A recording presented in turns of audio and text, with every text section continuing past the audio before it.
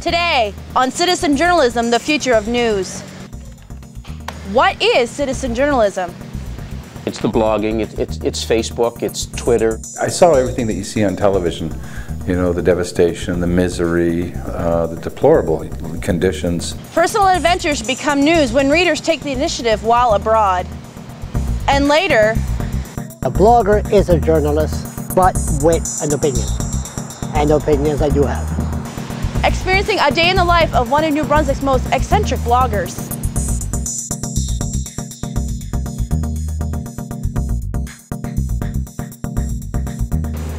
Hello, I'm Jocelyn Turner and welcome to Citizen Journalism, the future of news. This program was entirely produced by New Brunswick Community College students. Today on the show, we'll explore citizen journalism and the issues it raises. But first, what is citizen journalism? In an age where anyone can become an instant reporter, it leaves professional journalists wondering what the future holds. Michael McDonald reports. Do you blog or use Facebook? What about Twitter? If you spread or editorialize the news, you may be unknowingly participating in what some in the media call citizen journalism. Joel O'Kane is assignment editor with the Daily Gleaner. It's uh, blogging, uh, using Twitter, using uh, Facebook to, uh, you know, to talk about the issues.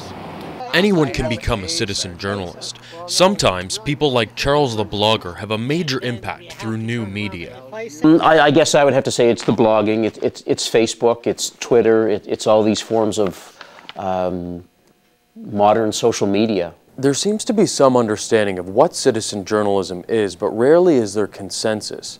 Because it is such a broad topic, there is some uncertainty, even among professionals. Mitch Greencorn has seen this evolution occur. Years ago, it was radio, print, and TV. Now you have internet, now you have smartphones, now you have email, now you have social media, and it's just getting more and more uh, intense. Throughout the show, we'll take a look at the different roles citizen journalists play, such as during the September 11th attacks.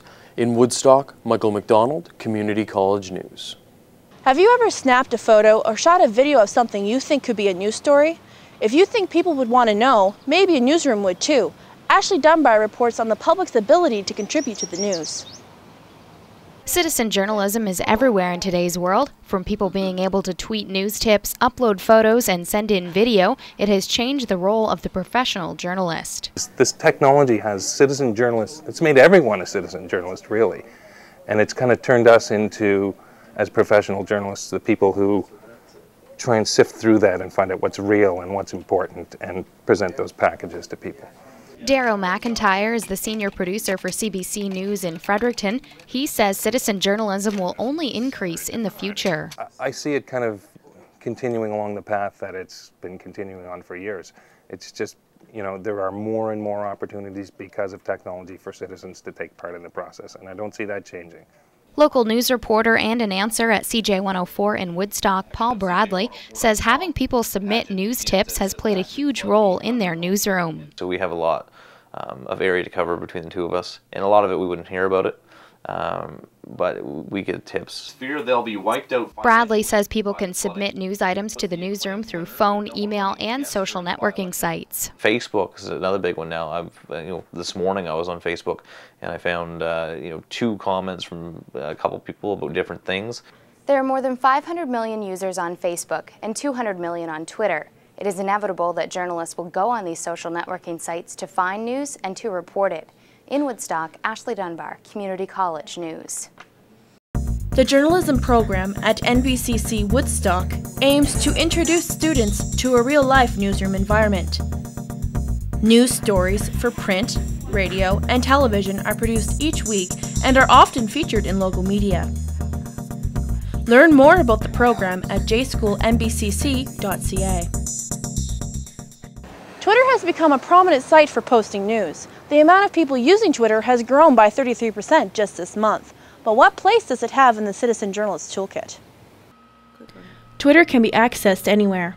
Now, anyone can report the news in 140 characters or fewer.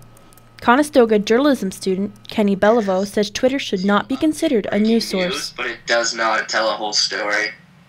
All you can do is give someone a quick, like 20 second update of what's actually happening. You can't tell them a full story on Twitter. Harassing people. We don't have very many followers. Or anything. Mount Allison student Tim Saunier is an avid tweeter. He thinks people on Twitter often break news before traditional media. You know, like the the Japanese earthquake was a good example because I, I heard about it hours before even CNN had posted anything about it. Saunier says even though Twitter is a social network, it is still a reliable source for news. So yeah, I don't know. It's been great. People are people are able to get things out even when there are media blackouts. Uh, I'd give him the one uh, that's on the front page. Or which were you The talking Beagle about? Observer's managing editor, Jim Dunville, says a lot of news media are turning to social networks like Twitter to cover stories taking place far from home.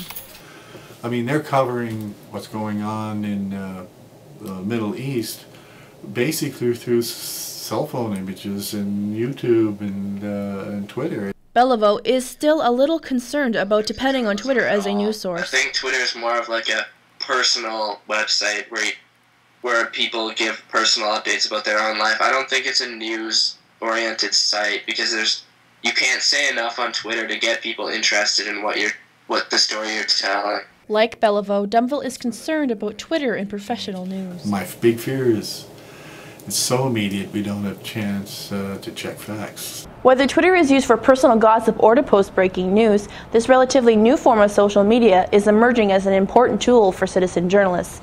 And professional journalists are also recognizing its advantages. In Woodstock, Jocelyn Turner, Community College News.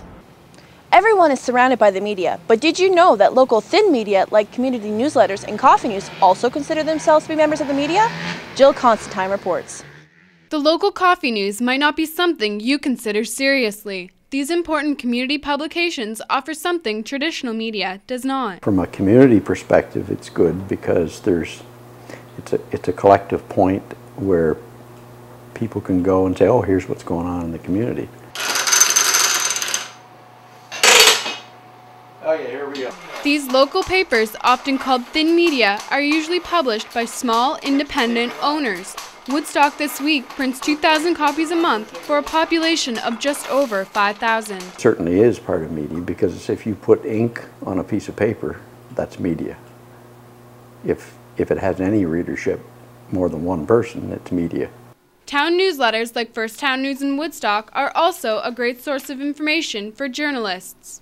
I do send it to to our local media, and I think they sometimes use that as story as s- the stories that are in it that they may not know about. Locals contribute all of the stories to these publications. Because all of the stories in these thin media publications are submitted by residents, they are great examples of citizen journalism. In Woodstock, Jill Constantine, Community College News. When we come back, who is accountable for what you read or watch in the news? They should be calling in. They should be helping us to to be better at our jobs. And later, we see just how a blogger gets his story. Lights bright, uh, siren going, so of course I threw my coffee aside and my water bottle flew and I came here.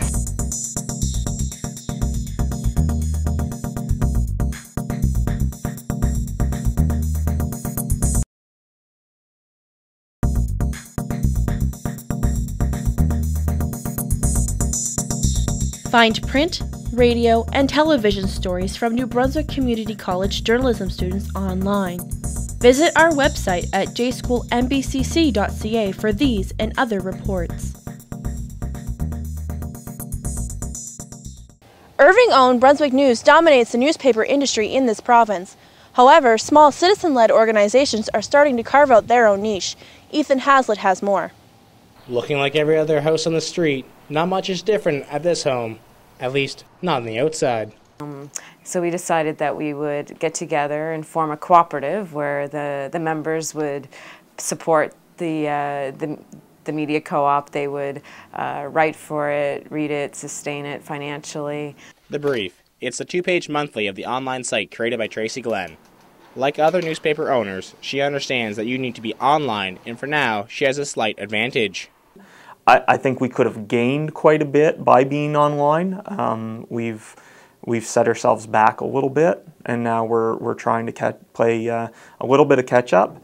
Large newspapers such as Brunswick News need more time to successfully go online, but that's not the only reason why NB Media Co-op has been a success. We would be telling stories from, from the marginalized voices. So often those voices tend to get um, ignored or distorted in, in the media. With so few independent newspapers left in New Brunswick, it leaves a field that needs to be filled, says Glenn. And that's what the public is doing by going on to blogging sites and other online sources. Citizen journalists, though, like Glenn, are volunteering to help take back their local news. In Woodstock, I'm Ethan Hazlitt, Community College News. Do you trust the news you read or watch? Well, it appears that not all news is as accurate as you would want it. Journalists do make mistakes, and as Tony Bourgeois discovers, some citizens are eager to keep a watchful eye. People make mistakes, and journalists are not exceptions. Professor of Journalism Scott R. Maier says only 1 out of 50 factual errors are caught in daily newspapers before publication. Sites like regrettheerror.com report retractions and corrections in news. Another such site is dailygleanerisms.wikispaces.com. The site was created by a Fredericton lawyer to publicize any spelling and factual errors inside the city's Daily Gleaner. Robert Jackson is the creator of the website and says he designed it to make journalists pay better attention. Began to notice a lot of uh, errors in the Gleaner and became uh, concerned that those mistakes were not being picked up on by anyone. The site stopped producing new content a few months ago, but Jackson says it may be back up in the future. News organizations have also made it easier for people to alert them of mistakes, whether it is through a comments page or an email. Larger papers like the New York Times have hired people solely for the purpose of fact checking the papers. At smaller papers, a story may only be fact checked by the journalist and his editor. Devin Judge is the editor of the Bugle Observer. He suggests if a reader is interested in a story and finds a mistake, to call it in. Reader isn't engaged, then we're not doing our jobs right. So if we are making mistakes, then yes, they should be they should be calling in. They should be helping us to to be better at our jobs. Judge says he doesn't think people have a responsibility to fact check the paper, but he does appreciate those who look deeper into a story. In Woodstock, Tony Bourgeois, Community College News. Professional journalists follow a specific code of ethics outlined by journalistic organizations. However, with the emergence of citizen journalism, there is a shift occurring to include them under the same ethical guidelines as professional reporters. Kyle DuPont has more. With the surfacing of online news as an extensive outlet, many people in the public are accepting of citizen journalists, even though they may not completely trust them. The question that arises is how to bring these new journalists under the same ethical codes as other accredited organizations. Now, rather than being out there and being a blogger, not necessarily aware uh, or and not necessarily practicing certain codes of ethics, isn't it better for the journalistic organizations to say, here are the rules we abide by, why don't you familiarize yourself with them, why don't you join us for training even? Online media allows for various streams for the news, from the Twitterverse to blogging. So how can a journalist code of ethics be enforced and policed by the proper institutions? But what happens is that by having a public code of ethics, the public that sees a story and disagrees with it can complain to the to the organization. Many people within the journalism industry have concerns regarding the ethical standards that a citizen journalist is held to. Sometimes citizen journalism strays over more to the rumor side of things, and people will take that for gospel, only to be burned later on when the story proves not to be true. Organizations such as the RTNDA are currently implementing changes to their code of ethics. They will likely add new terminology which includes online journalists. In Woodstock, Kyle DuPont, Community College News. What kind of roles do citizen journalists play in breaking news events like natural disasters? We find out when we come back.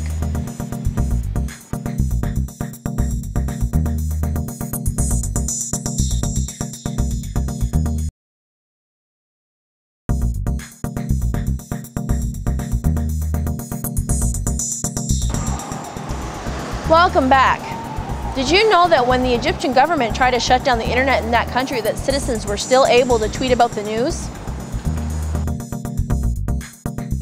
But closer to home, Charles LeBlanc is one of New Brunswick's best known bloggers. He considers himself a professional nuisance. Kyle DuPont spent the day learning how LeBlanc gets his stories. I'm a blogger. So I said, what is a blogger? Is a blogger a journalist or he's not? My view, I say a blogger is a journalist but with an opinion. And opinions I do have. Charles LeBlanc is a familiar name and face throughout the city of Fredericton. A self-proclaimed public nuisance, he covers everything from politics to the issues affecting the average citizen. Charles has his own webpage where he posts his stories for everyone to see. I'm the editor, I'm the columnist, and I'm the owner. Charles takes full control of his website and decides what is newsworthy. Through the use of social media, he has been able to create quite a following throughout the region. And uh, tweeting, Facebook, blogging, and via communication, via the information highway is very important for us New Brunswickers to know what's going on. And be safe, and if you don't, the rules are very simple. If you don't like it, we don't use it. Okay? Okay. One interesting thing about Charles is his approach to interviews. He is willing to talk to anyone and everyone to get a story. He shoots all his interviews with a point and shoot camera. He doesn't edit his interviews and they go directly to his website as they are. Now you know why social journalism, how we do it. These are four citizens from China. Now, personally, I'm not a fan of China uh, because there's no freedom of speech in China. We know that. But these guys are sort of afraid, and you know, you don't blame them. And like they said, well, if you don't say nasty stuff against the government, uh, you're free. So you know what? Thank God we're not in China. I would have been in jail a long time ago. Charles has a knack for finding news as it happens. The sound of sirens bring him running to get the latest social scoop. journalism works. Uh, we're walking down uh, Union Street, and you see the police truck, lights bright, uh, siren going. So, of course, I threw my coffee aside, and my water bottle flew, and I came here. Charles is respected by the police in the city. He politely waits for his interview and avoids causing problems because he knows they will take the time to answer his questions. See, that's one thing about when you do this citizen blogging. Um, you don't uh, bother the police. You gotta be patient, something I don't have. But you just let them do their business, and they know I'm here. And uh, once he's done, I usually, his name is uh, Sergeant Matt Myers. And I presume he'll give me an update and what, if he's in a bad mood, we don't know. But usually he's, he's, he's pretty good. I, I don't have any issue with it. I, I think that you know there's many different forms of uh, media. Um, you know, being a blogger or being a uh, you know a journalist with uh, another accredited agency such as a CBC or one of the um, you know CTV. I think they all have a duty to report incidents that are taking place in the community. Um, so I think it's six in one, half dozen in the other. I think it's a, a great way for people to be aware of what's going on. The, uh, the Fredericton Police Force acknowledged me as a journalist. They put me on their email list, and they know to get information quickly to the public, blogging is the way to do it. Charles has a keen interest in the politics of the province. He can usually be found chasing after different MLAs down at the legislature. Although he has been banned from the grounds, it doesn't seem to stop him from getting his story. When you have a pain in the butt blogger like me that's in there, that asks the same question over and over again every single day. See, I mean, the media is a busy bunch. They jump to other issues every day. But me, when I got way too much time in my hand, I could ask the same question. As long as Charles has a camera and time on his hands, he will be delivering the news as he sees it to the people of Fredericton. And okay, world, come and read what I got to say. NBCC journalism students launched their new website on June 9th in Woodstock. The event featured interactive displays of student work and special guest speaker Terry Seguin, host of CBC Radio Fredericton's Information Morning. Visit jschoolnbcc.ca throughout the summer to see more student work. When disasters or national crises break out, mainstream media aren't always the first ones on the scene. Mike Truzek explores the impact of the citizen journalist ていく様子を見ながら Natural disasters, bloody revolutions, and terrorism have become an all too familiar sight in our time. However, in the wake of these horrific events, citizen journalism has played an integral role in how emergencies are covered. things that are demonstrations happening on the street and those people are part of those demonstrations i mean there's an immediacy that um, is hard is hard to duplicate in the mainstream media Veteran journalists like Terry Seguin believe that while citizen journalism can provide the public with information more quickly, there are some glaring barriers in doing this. but now individuals have that ability themselves so you don't have to go to the corporate structure to get the story out um, but it's but it's fragmented. A 2009 report by Pear Analytics showed that only 4% of tweets out of 2,000 were news related.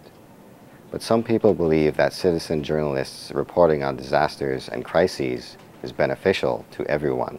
I think that it's a, it's a good thing that people have the ability to get information out there more freely, unfiltered. I think that if you're going to provide a less biased account of disasters, that's the best way to do it. Websites like Ushahidi are acting as a filter for citizen journalists reporting on disasters and crises. In Woodstock, Mike Trusiak, Community College News. Giving a local newspaper a global perspective isn't always easy, but when readers take the initiative to report their own experiences abroad, it can bring the world a little closer to home. Jeff Stairs takes a look at one man and his story. The world held its breath when news broke of the devastating earthquake in Haiti in January 2010. Millions were glued to their television screens watching coverage of the disaster. Woodstock High School teacher Richard Blackier witnessed the destruction firsthand when he visited the country soon after the quake. I saw everything that you see on television you know, the devastation, the misery, uh, the deplorable conditions. Though his trip lasted only a few days, Blackier left Haiti with a lifetime's worth of memories. The local newspaper jumped at the chance to publish his accounts. Blackyear's experiences in Haiti were so overwhelming that he wrote enough to publish a three part column in the Bugle Observer, like this one here. Blackyear's articles put a local slant on an international story, highlighting a number of area residents who were affected by the disaster. Bugle Observer managing editor Jim Dumville arranged to have the columns printed. He says that Blackyer's work transcended the typical news story and didn't shy away from the emotional. So it became uh, much more than just your description of Haiti after an earthquake. It became, but it became very personal about, and you got the, the human tragedy was it came across. Oh man, the drivers! You've never seen drivers as bad. Blackyer's articles generated positive feedback in the community. He hopes that some were able to feel a closer bond to the people of Haiti through his words. When you write about something that you feel passionately about and that's very emotional, I think if if you're sincere in your emotions and people see that sincerity in, in what you write, and I, I felt that you know that uh, that they were my efforts were validated by the response I got. Not satisfied with just one trip to Haiti, Blackier is planning another visit for later this year. In Woodstock, Jeff Stairs, Community College News. Well, that's our show for today. If you'd like to see more of our news stories, visit jschoolnbcc.ca. Thanks for watching. During the production of this program, the City of Vancouver saw riots break out following their team's loss in the Stanley Cup Finals. Citizen journalists were out in full force with their cameras. You see the technology of today, everybody posing with photographs, Jazz, if you pick some of that off. Look at this guy right here. He's got a tripod set up. It's like he's taking tourist photos. One website called for photo submissions in an attempt to identify those who were inciting violence. Vancouver police also used amateur video to aid in their investigation. Members of the public are sending us their videos, and we are adding those to the thousands of minutes of video that we shot ourselves. We are fully committed to tracking down these criminals and arresting them for their crimes. Thousands of photos are already published online, but is this a grassroots form of investigative journalism or simply public shaming?